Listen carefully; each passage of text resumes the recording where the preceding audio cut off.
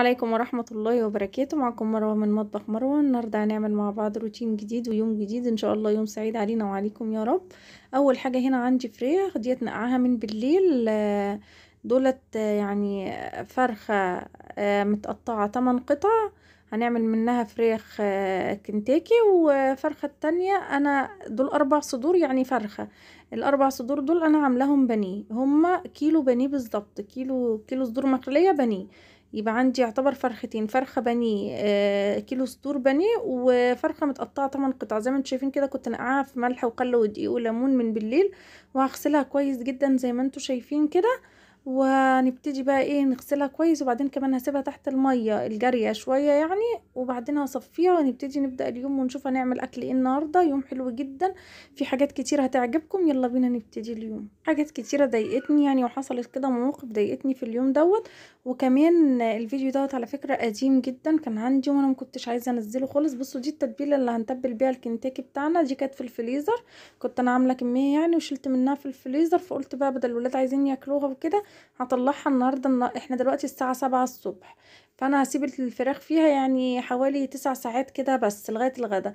آه إنما هي طبعا يفضل إن هي تبات من بالليل أفضل أو يعدي عليها أربعة وعشرين ساعة بتبقى أفضل بكتير. بس لو زي كده يعني الولاد طالبين منكم وإنتوا ما كنتوش عاملين حسابكم فعيدي اعملوها زي ما أنا عملتها كده. أنا سبتها لما فكت خالص طبعا والفراخ غسلناها كويس جدا واتصفت خالص خالص.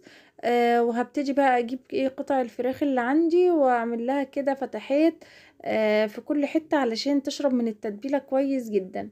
الوصفة دي بتاعت الكنتاكي بجد رهيبة رهيبة يعني جميلة جدا جدا وطعمها حلو قوي. يعني تاكلوها أحلى من اللي بتاكلوها من بره يعني قوي. يعني بجد بجد مش هتفرقوها عن بتاعت بره بس دي طبعا زيادة عليها النظافة والجودة وكل حاجة.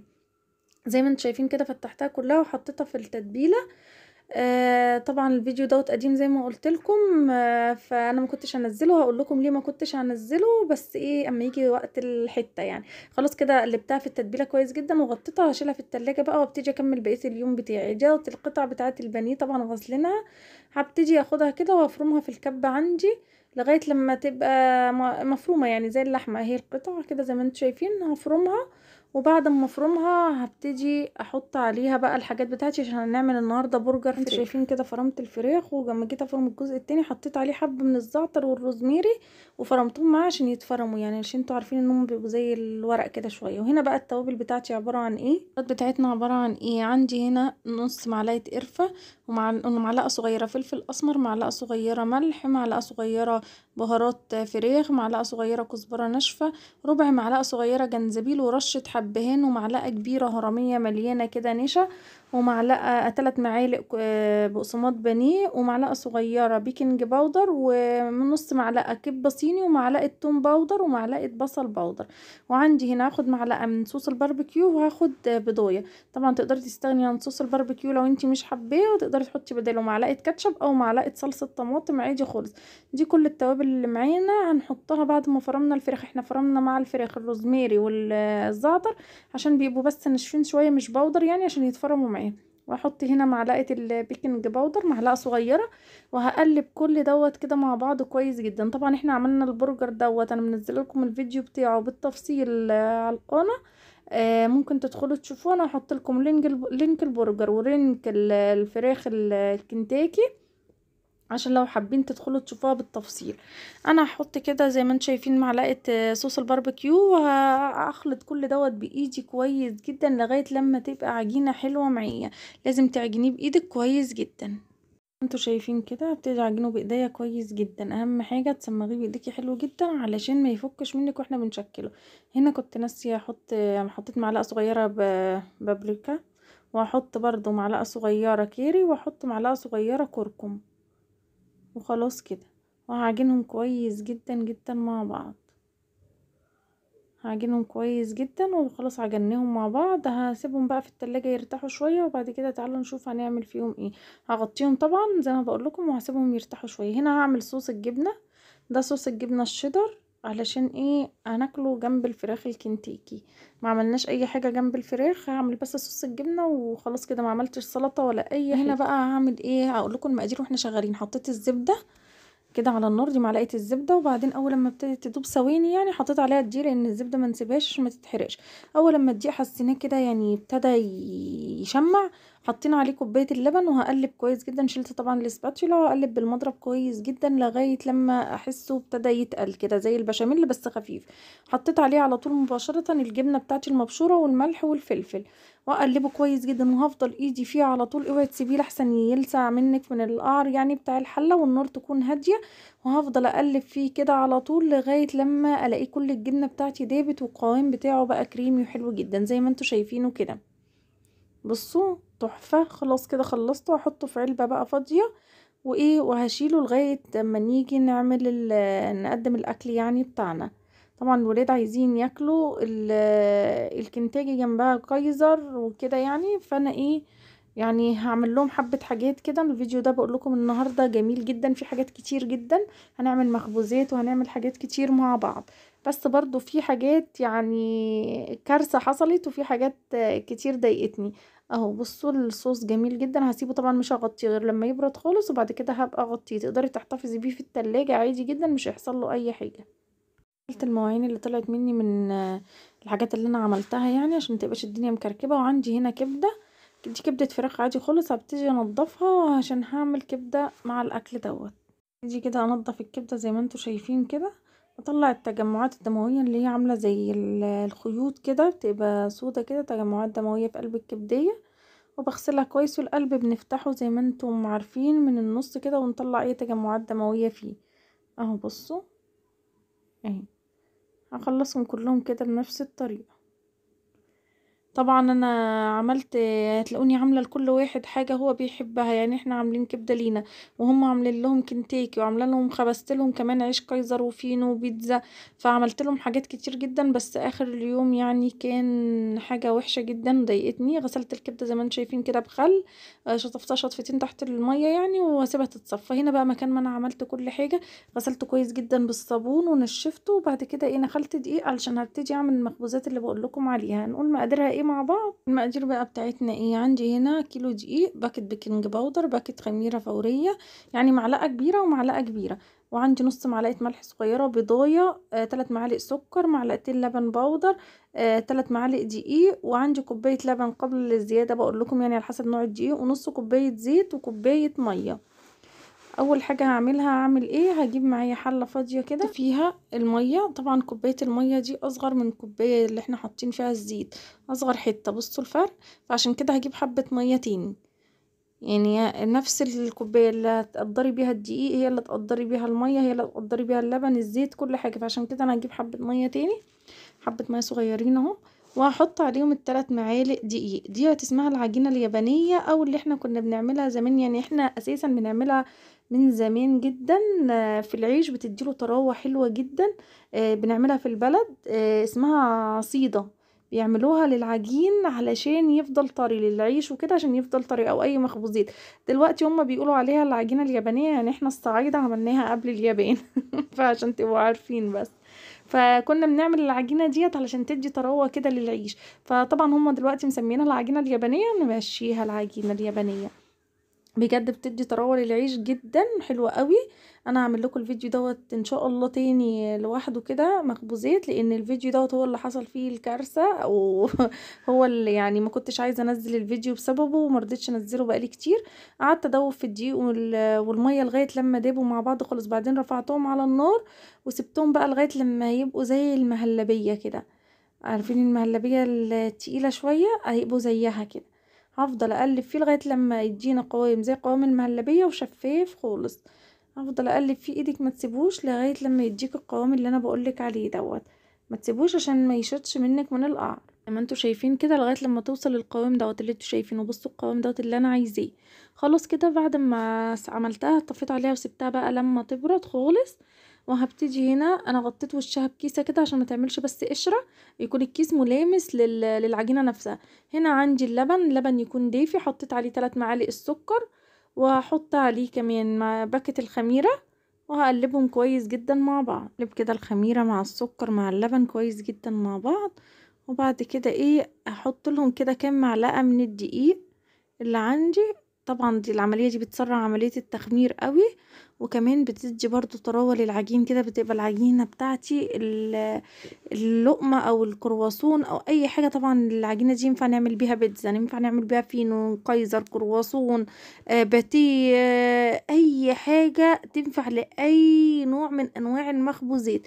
تحفة تحفة تحفة. جربوها تعجبكم جدا وأنا هعملها لكم في فيديو تاني منفصل. إن شاء الله تعجبكم قوي هقلبهم كده مع بعض زي ما أنتم شايفين وخلاص كده. ده بقى خلاص قلبتهم وهغطيهم واسيبهم في مكان دافي يخمروا لغاية إيه؟ طبعا إحنا سايبين العجينة التانية تبرد. هنا بقى عندي الكبدة بعد ما سبتها تصفت اما غسلتها بخل. هبتدي اقطعها كده آه قطع صغيرة يعني عشان أنا احمرها هعملها كبدة عادية جدا ما فيهاش أي حاجة. اقطعها بصوا مش محتاجة بلانشة ولا حاجة. أنا بقطعها عادي على إيدي كده. ما ما بتتهراش ولا أي حاجة زي ما أنتم شايفين كده. القطعة بقطعتها ما فيهاش أي حاجة. هقطعها كلها كده بنفس الطريقة. الكبدة خلاص كانت الخميرة بتاعتي خمرت هبتدي بقى أعجن العجينة بتاعتي. هجيب هنا عندي بقى الدقيق أحط عليه الأول المكونات الجافة اللي هو اللبن ال powder وال baking powder وذرة الملح. يعني هي نص معلقة ملح صغيرة. زي ما أنتوا شايفين كده هحط المكونات الجافة كلها على الدقيق الأول. طبعا تقدري تستبدلي اللبن بمية آه نقدر نستبدله بمية. تقدري تستغني عن اللبن ال powder آه بس كل الحاجات ديت بتفرق في الطعم جدا بتخلي طعم الحاجة جميل جدا جدا. ودوت الاختلاف عن دوت الاختلاف اللي بيبقى إيه عن المخبوزات اللي بنشتريها من بره أو الحاجات اللي من بره هنا بنبقى حاطين حاجات مغذيه وحاجات بتدي طعم أحلى وكده عن اللي بنشتريه من بره هنا خلاص حطيت كده قلبت ال baking powder مع الملح مع الدقيق وحطيت عليهم الخميرة بتاعتي. طبعا أنا هاخد اللي في الطبق دوت بس هجيب حبة مية بس إيه عشان أنزلهم بيهم. وهحط البيضاية وأحط هنا معلقة كبيرة من الخل. الخل طبعا بيدي طراوة آه حلوة جدا جدا للعجينة. لا حتى للكيكات الخل بيدي طراوة حلوة للكيكة يعني. هشيل طبعا الحاجات ديت وهبتدي أعجن العجينة بتاعتي كويس جدا. أنا نزلت كل اللي كان في الطبق يعني اوعوا تفتكروا إن أنا هسيبه. وهبتدي أعجن العجينة كويس جدا جدا. أنا حطيت زي ما أنتوا شفتوا كوباية لبن وهحط قصادها كوباية مية. كيلو دي بياخد كوبايتين آه مية أو لبن. انت طبعا عايزة تحطي الاتنين لبن حطي. عايزة تحطي الاتنين مية حطي زي ما تحبي. بس طبعا لو حطيتي نص ونص أفضل بكتير. هفضل بقى أعجن فيها كده زي ما أنتم شايفين هتلمت ديت العصيدة أو العجينة اليابانية اللي إحنا عملناها بالدقيق والمية. بردت خالص حطيتها عليها بقى وابتديت أعجن كويس جدا لغاية لما العجينة كلها اتلمت. وهنحط نص كوباية الزيت آخر حاجة هلم بيها العجينة. خلاص كده عجنتها كويس ولميتها بالزيت. هنا مطرح ما أنا كنت يعني بنخل الدقيق بقى ومطرح ما حطيت وعجنت. جبت حبة خل كده ومسحت الرخامة بمناديل المطبخ. طبعا إحنا كنا غاسلين الرخامة كويس جدا بالصابون والليفة ومخلينها زي الفل. بس أنا بحب بدل هعجن عليها حتى لو غسلاها بالصابون لازم أعقمها بخل زي ما أنتم شايفين كده. لازم عقميها بخل لازم لازم لازم حتى لو غسلتيها بمية وصابون. أنا بعمل كده على طول ويعني يا ريت كلنا نعمل كده. أنا بعد ما غسل يعني عقمتها بالخل جبت منجيل ناشف تاني ومسحت بيه الرخامة وهنزل بقى بالعجينة بتاعتي وابتدي اعجنها كويس جدا. مدة ما تقلش عن عشر دقايق عشان تديكي نتيجة كويسة جدا.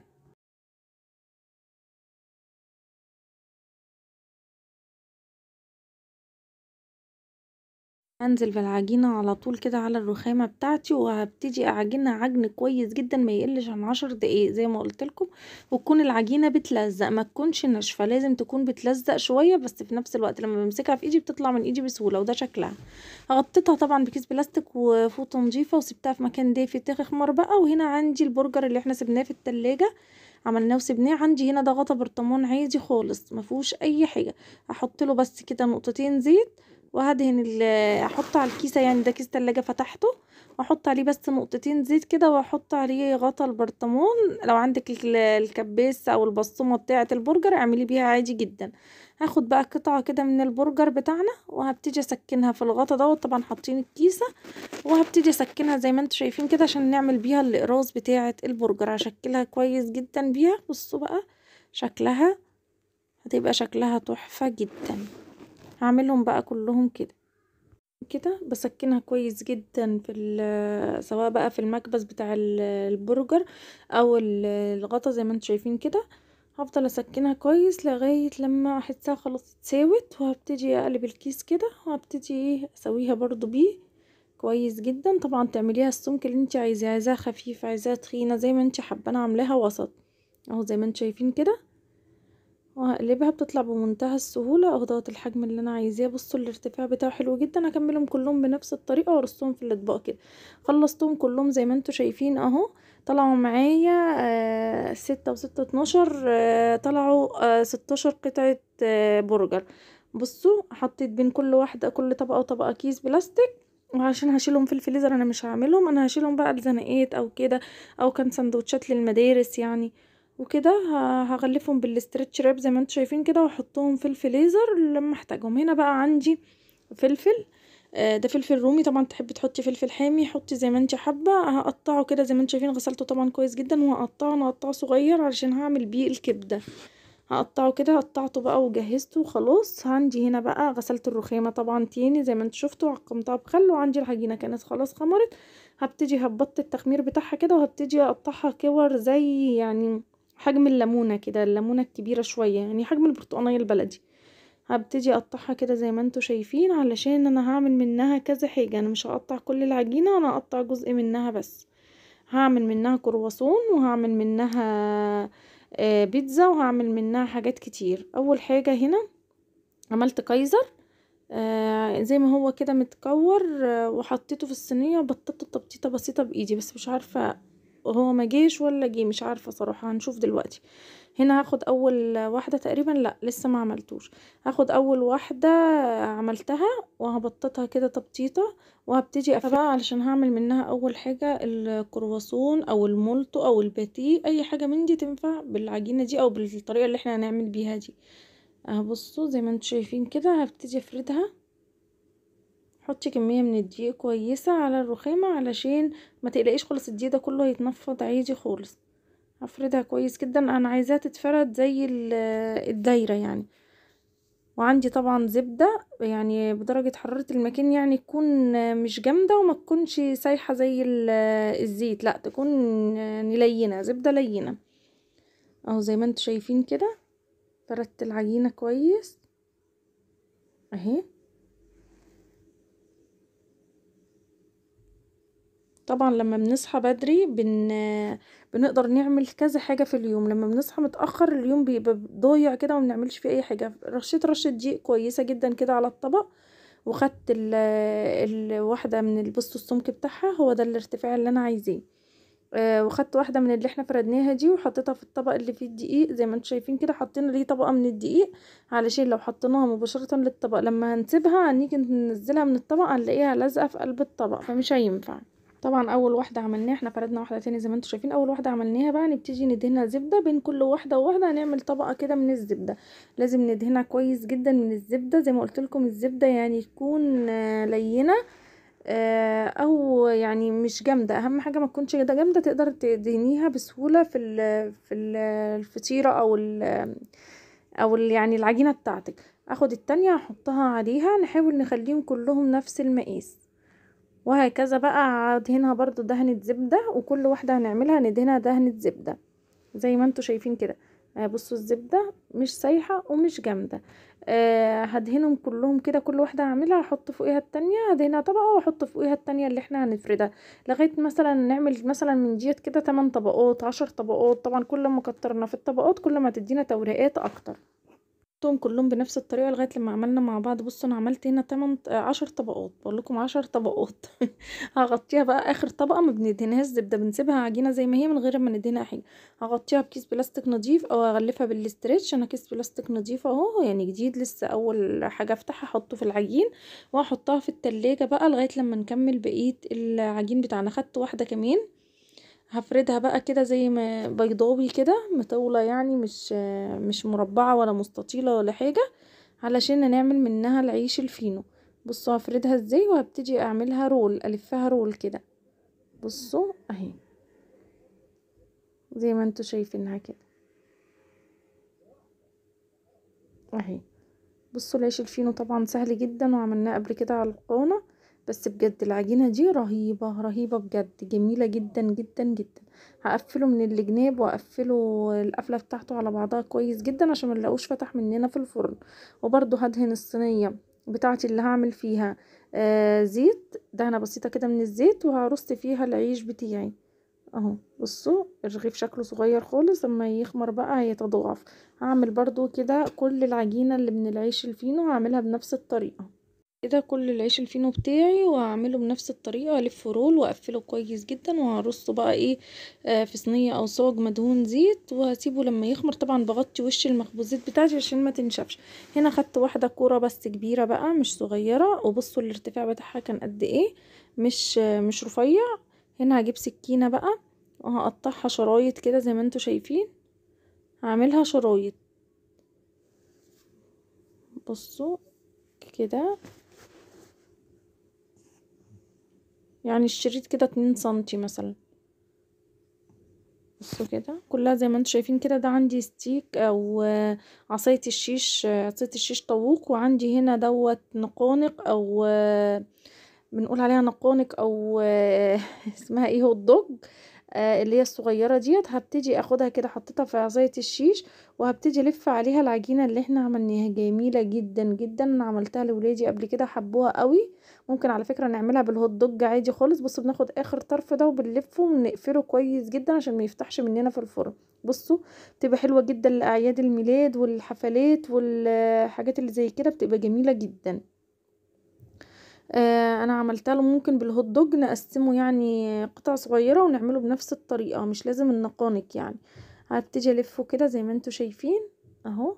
بصوا سهلة جدا جدا وهنجيب القفلة بتاعته الفها حوالين الستيك نفسه حوالين الشيش وهقفله عليها كويس جدا. حلوة جدا جدا جدا. بصوا جميلة.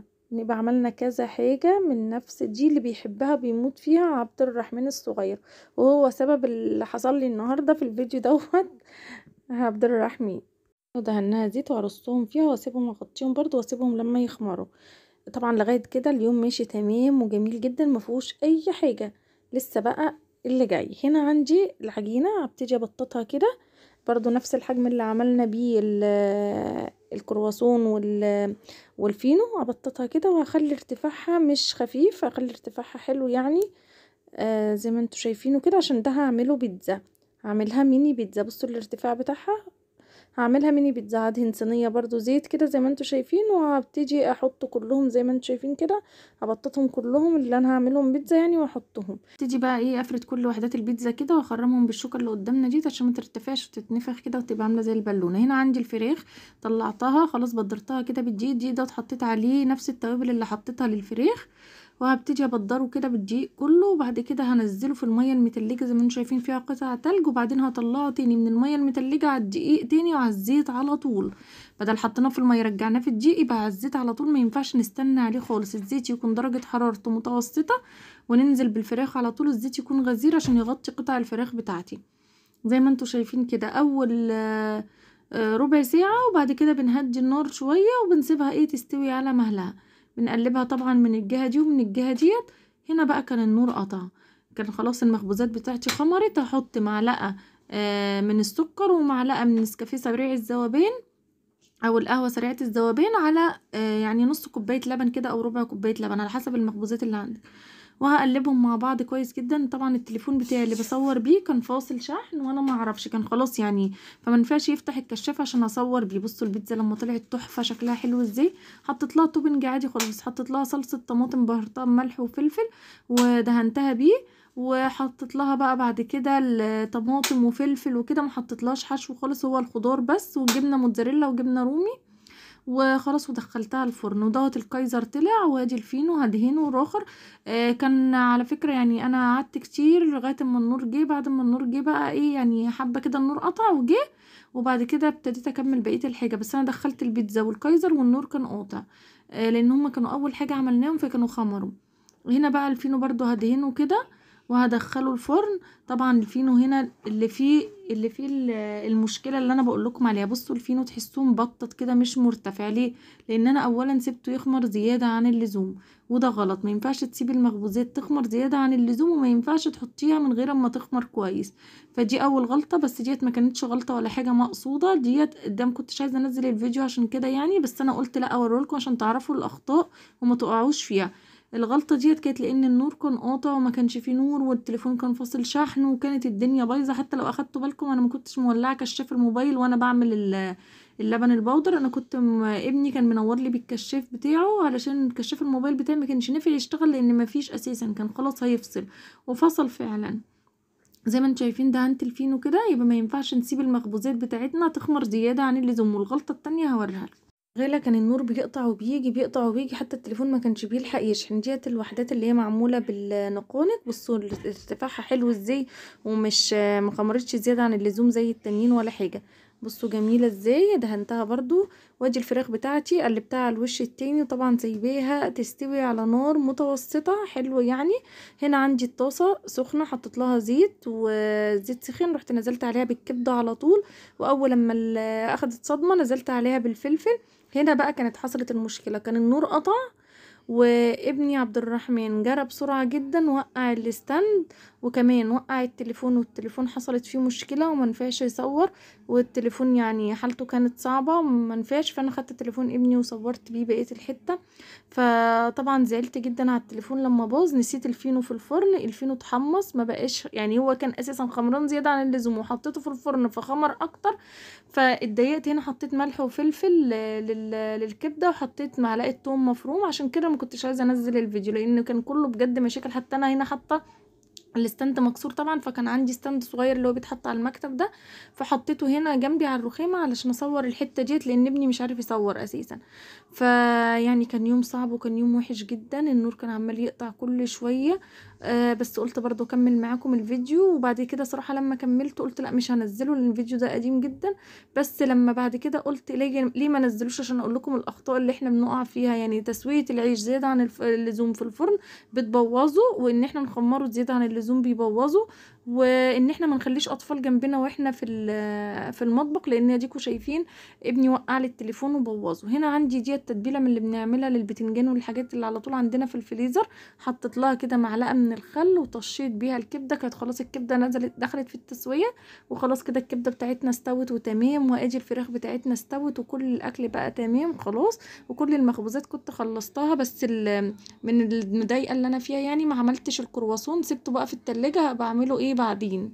بعد يعني عملته في يعني في آخر الليل خالص ما عملتوش في ساعتها لأني كنت اتضايقت وخلاص. ادي الفراخ بعد ما طلعتها بصوا شكلها تحفة. إزاي ومقرمشة وطعمها كان جميل جدا. حطيت كمان طماطمية للكبدة كده خلاص هديها تقليبة وهطفيها على طول. خلاص كده كان الأكل كله جاهز معانا. يا رب يكون روتيني النهارده عجبكم. آه لو عجبكم الروتين ما تنسوش تعملوا لي like بصوا بقى عايزة أوريلكم قد إيه العجينة بتاع العجينة اليابانية دي تحفة بجد. بصوا هشة وسفنجيه وجميلة إزاي. تحفة بجد بجد جميلة. طبعا كل المخبوزات بتاعتنا طلعت حلوة جدا جدا. حتى الكرواسون لما عملته بعدها بالليل طلع جميل جدا ما عدا الفينو عشان هو الوحيد اللي أنا سبته يخمر كتير. وكمان سبته في الفرن نشف. زي ما أنتم شايفين كده بصوا ناشف ومش حلو إزاي. حتى اللي هو بالنقانق ده كان جميل جدا. الفراخ كانت حلوة قوي. بجد كان كل الأكل جميل بس المشكلة في اللي حصلت في الفينو والتليفون